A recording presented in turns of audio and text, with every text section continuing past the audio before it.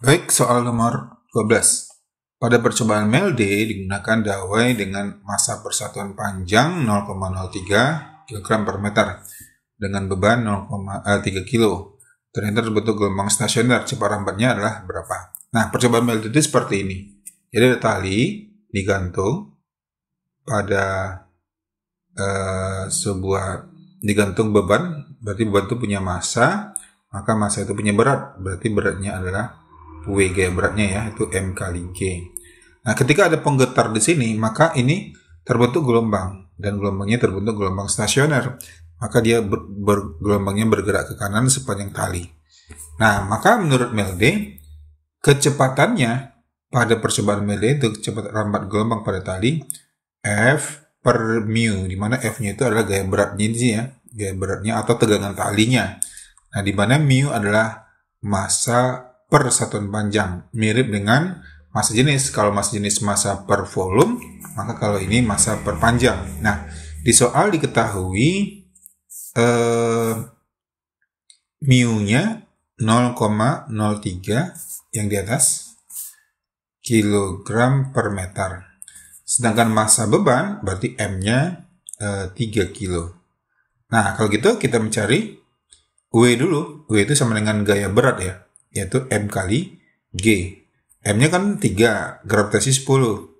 Jadi 3 kali 10, 3, 30 Newton. Nah, dari sini kita bisa mencari berapa cepat rambatnya. Berarti V sama dengan akar. Yang ini kita gunakan ya, F per mu. F-nya berarti dari gaya berat. Berarti 30 dibagi 0,003 atau 3 kali 10 pangkat min 2. 30 per 3, 10 dibagi 10 ke min 2, naikkan pangkat min 2 nya ke atas, berarti 10 pangkat 3. Lalu bagaimana mengakarkan? Ini kan 1000 ya, 1000 itu 100 dikali 10. Akar 100, 10. 10 akar 10 meter per second. Maka jawabannya adalah yang D. Jadi percobaan MLD, ingat rumus yang ini, lalu percobaannya seperti ini ya. Kita lanjut ke nomor 13. Sebuah dawai sepanjang 40 cm dijepit kedua ujungnya lalu dipetik tengah-tengah. Jika kecepatan bunyi di udara 300 meter per second, maka frekuensi nada atas pertama. Nah, ini tentang bunyi. Jadi kita punya dawai atau senar gitar lah ya. Dengan panjang 40 cm, kalau dijadikan meter berarti bagi 10 0,4 meter. Lalu kecepatan bunyi di udara 300 meter per second. Yang ditanyakan frekuensi nada atas pertama. Berarti frekuensi adalah F, nada atas pertama berarti N-nya 1. Nah, jadi kalau kita lihat uh, dawai kalau digetarkan maka nanti terbentuk yang namanya nada dasar, nada atas dan nada atas kedua dan sebagainya. Nah, jadi ada dawai yang warna hitam ini lalu kita getarkan atau dipetik, bayangkan gitar lagi kita petik. Maka terbentuk gelombang stasioner. Nah, ini nada ini nada dasar, n-nya sama dengan 0.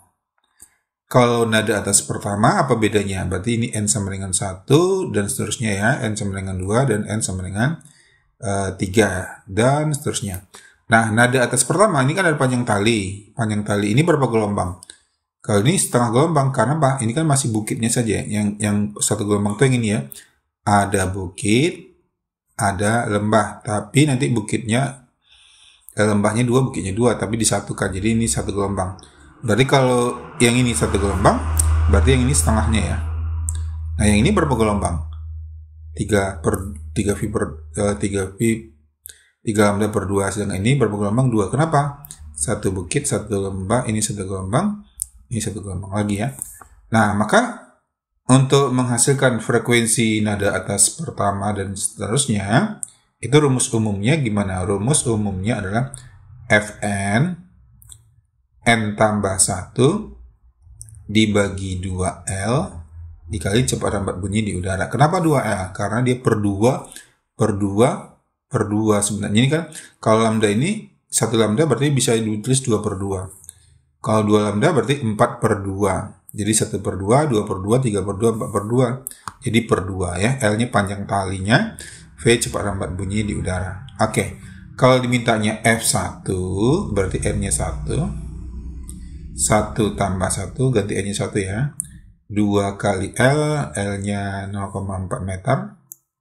Dikali cepat bunyi di udara, 300. Nah, 1 tambah 1, 2. Berarti 2 dengan 2 coret. Maka 300 dibagi 0,4 atau 3000 dibagi 4. Kenapa 3000? Karena dikali 10 atas bawah. Nah, dibagi 4, kalau dibagi 2 dulu berapa? 1500 ya. 1500 per 2. 1500 per 2 dibagi 2 lagi, 750 Hz. Jadi, bunyi gitar atau senar yang dihasilkan 750 Hz, maka jawabannya yang yang B. Oke, lanjut ke nomor 14 sebuah pipa organa terbuka. Pipa organa itu contohnya seruling, memiliki panjang 50. Jika cepat rembat bunyi di udara 350, maka frekuensi nada dasar. Jadi kalau diketahuinya panjang, berarti L-nya 0,5 uh, 50 cm 0,5 meter langsung ya. Kecepatan bunyi di udara 350 meter per second. Uh, yang ditanyakan frekuensi nada dasar do re mi berarti F-nya sama dengan 0. Pipa organa terbuka. Nah, kalau dia terbuka, ujung-ujungnya kiri kanannya ini bayangkan seruling, serulingnya terbuka kiri kanan. Nah, nanti modelnya seperti ini. Yaitu ini perut, simpul perut. Jadi perutnya di ujung kiri dan ujung kanan. Maka ini berapa gelombang? Satu gelombang atau setengah gelombang? Nah, kalau kita perhatikan gambar ini, yang satu gelombang itu satu bukit, satu lembah. Nah, kalau di satu gelombang, maka yang segini setengah gelombang. Berarti yang segini atau yang segini seperempat ya. Nah, ini seperempat, ini seperempat, seperempat tambah seperempat, maka ini setengah gelombang. Yang ini setengah, seperempat, seperempat. Jadi berapa? uh, satu gelombang atau dua per dua gelombang. Ini satu gelombang, ini seperempat, ini seperempat. Berarti satu setengah ya, tiga per dua gelombang. Jadi kalau pipa organa terbuka itu berarti POB ya. POB itu rumusnya sama dengan dawai. Soal di nomor 13 tadi. Rumus umum dawai sama dengan POB N tambah 1 per 2L dikali V cepat rambat bunyi di udara. F0 nada dasar, berarti N-nya 0. Masukkan 0 sini, 0 tambah 1. 2 kali panjang dawai, 0,5 kali cepat rambat bunyi di udara, 350. Berarti 2 kali 0,5, 1 ya. 0 tambah 1, 1, 1 per 1 kali 350, maka jawabannya tetap 350 Hz. Nah, jadi frekuensi nada dasarnya berarti jawabannya C, 350. Kemudian kita lihat lagi soal nomor 15. Sebuah seruling memiliki kolom udara terbuka pada kedua ujungnya. Memiliki nada atas kedua, frekuensinya 1700. Jika kecepatan suara di udara 340, maka panjang seruling. Berarti yang diketahui adalah Frekuensi nada atas kedua F2 1700 Hz berarti N-nya sama dengan 2. Kecepatan bunyi di udara 340 meter per second. Yang ditanyakan adalah panjang. Nah, ini masih POB. Masih POB berarti dia masih terbuka seperti yang soal nomor 14. Artinya, rumusnya sama dengan rumus yang di atas. Rumusnya apa tadi? Jadi kalau kita jawab Fn sama dengan N tambah 1 per 2L kali V. Kenapa 2L? Karena setengah-setengah ya. Seperdua, seperdua, dan seterusnya. Kita mencari L, ya udah berarti frekuensi tinggal masukkan. Frekuensinya berapa? 1700. Kemudian nada atas kedua berarti N-nya 2 2 tambah 1 2 kali L L nya berapa mau dicari?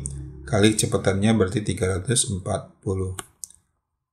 nah oke okay, di sini ada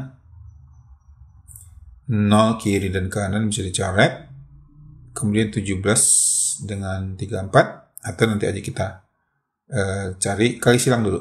Nah, berarti 2L kali 170 sama dengan 2 tambah 1, 3 kali 34. 2 kali 17, 34 ya. Maka L-nya sama dengan 3 kali 34 dibagi 340. Nah, 34 dengan 340 kan bisa dicoret lagi. Berarti 34 dengan 350 berarti 10 ya. Maka 3 per 10, 3 per 10, 0,3 meter. Jadi, panjang surlingnya adalah 3, 0,3 meter. Kalau jadikan senti kali 130 senti. Nah, itulah dia tentang uh, bunyi. Kita lanjutkan pertemuan selanjutnya. Baik, soal nomor 16 tentang bunyi. Sebuah bunyi dengan daya 340 merambatkan energinya ke segala arah sama besar. Seorang pengamat mendeteksi taraf intensitasnya di suatu tempat adalah 100 desibel. E, tentukan jarak pengamat dengan sumber bunyi di mana ada I0 e, 10 pangkat min 12. Nah, apa yang diketahui di soal? Yang diketahui adalah sebuah bunyi dengan daya, daya kan power ya, berarti P, 314 watt. Kemudian mendekati seorang pengamat di suatu tempat dengan taraf intensitas, berarti TI.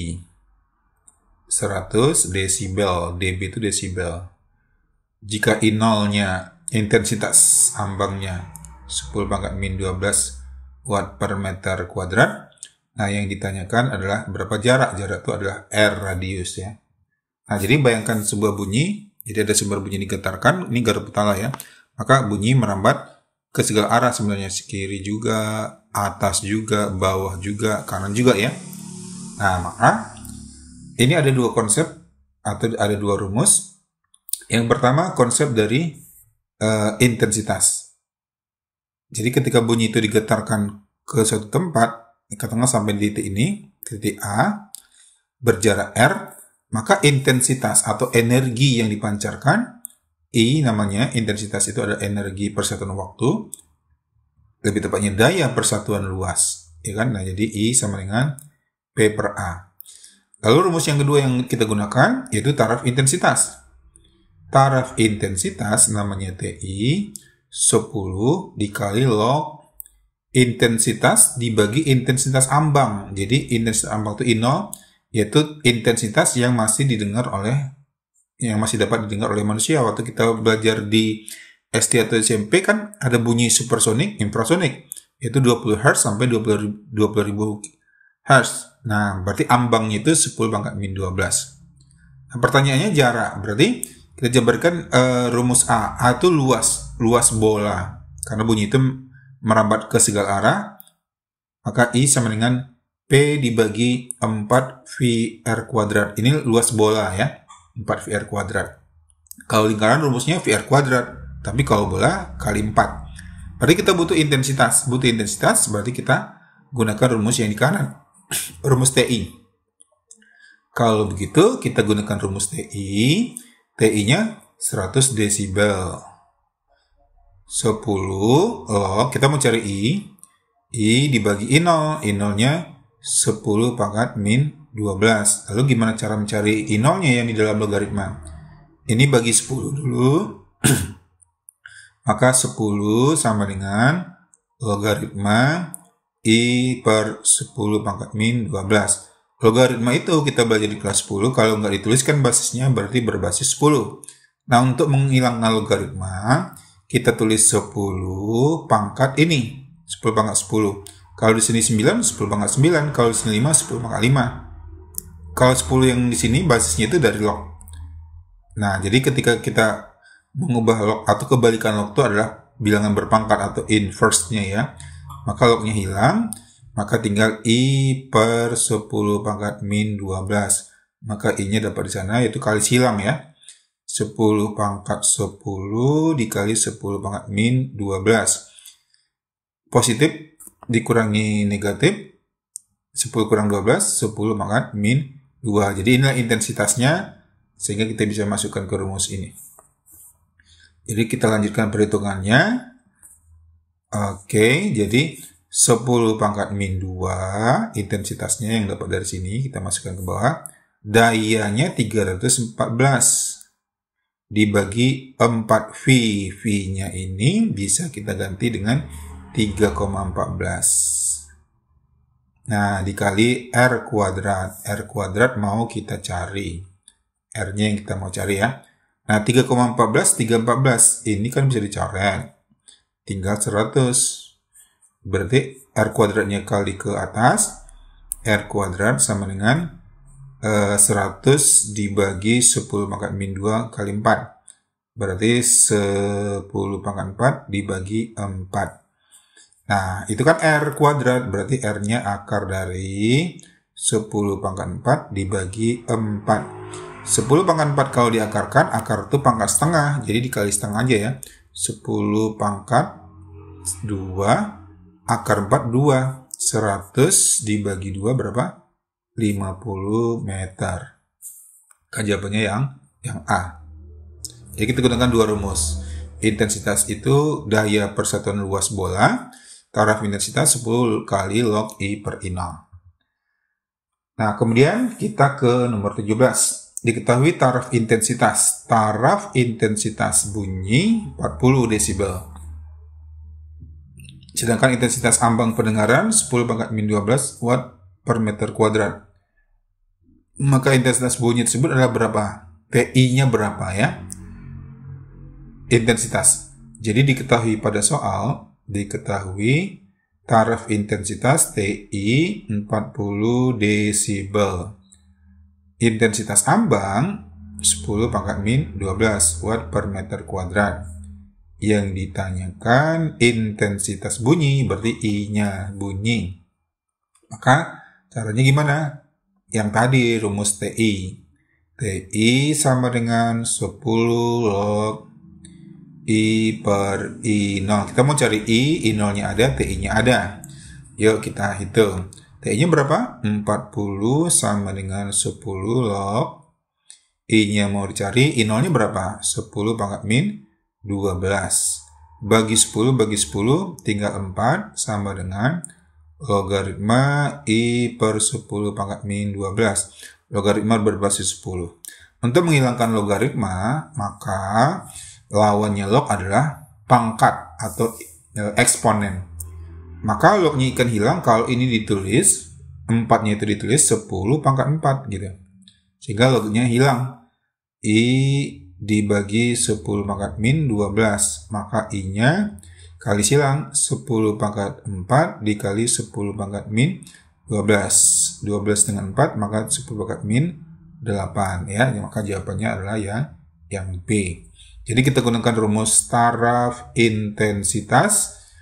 Nah, bagaimana mencari log eh, yang di dalam logaritma? Maka lawannya log adalah eksponen.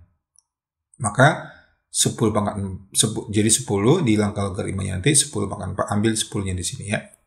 Kita lanjut ke nomor 18. Empat buah mobil sejenis, jadi ada mobil sejenis dihidupkan mesinnya, taraf intensitas bunyi masing-masing, berarti masing-masing itu satu buah adalah 60 desibel. Jika lo 4 adalah 0,6021, maka taraf intensitas seluruh mobil.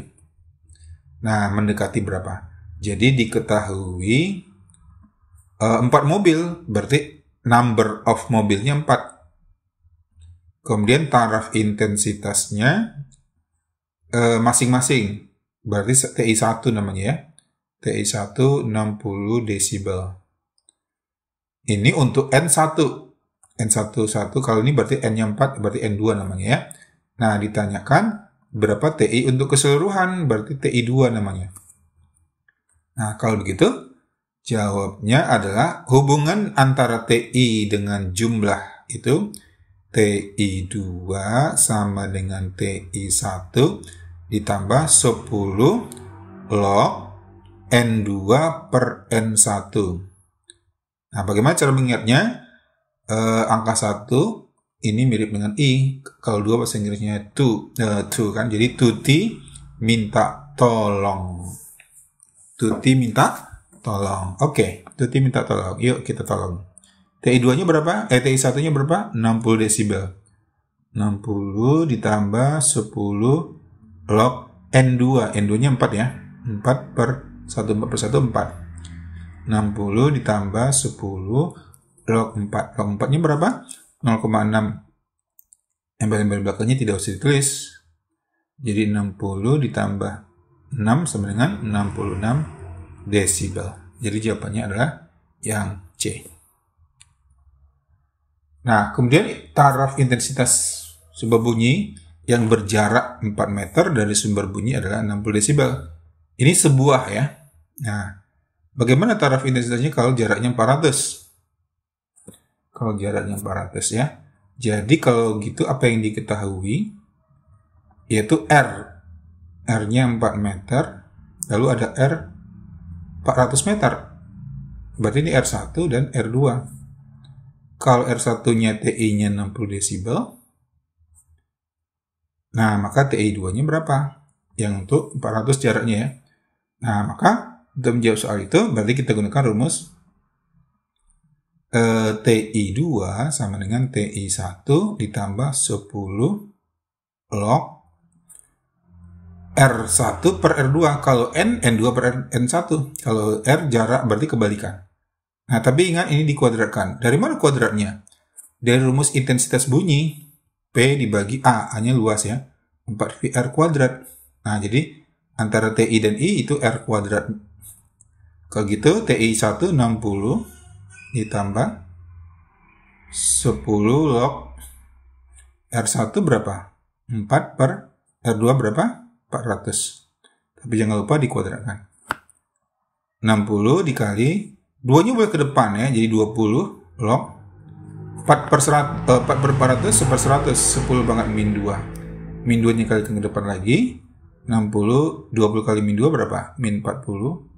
60 kurang 40 jawabannya 20 desi, desibel. Maka jawabannya adalah D.